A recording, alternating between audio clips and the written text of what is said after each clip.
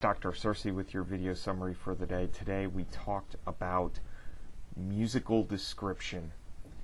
For your blogs and for your paper, you have to pay attention not just to the text of a song, but also to its musical accompaniment. How do you do that? Well, we proposed three methods for that today in class.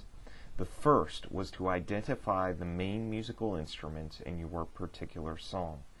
Now, if you don't know musical instruments very well, then go to YouTube, hear what they sound like, and then go back to your text. If you can find a music video, um, that might help because the band might be playing instruments. Guitars, drums, basses, keyboards, these are the main instruments of pop music a lot of rap music features programmed beats. That's what you want to talk about. So you identify the instruments. Second, you ask yourself how the music changes. Are there any musical patterns? Does the music sound the same in the verse as the chorus? Does it sound the same when someone's singing or not singing? Is there an instrumental solo section? How does that relate to the rest of the song? So you think about the structure of the music, okay? Repeated patterns or places where it's different. And then third, you want to describe the music you've listened to in five adjectives.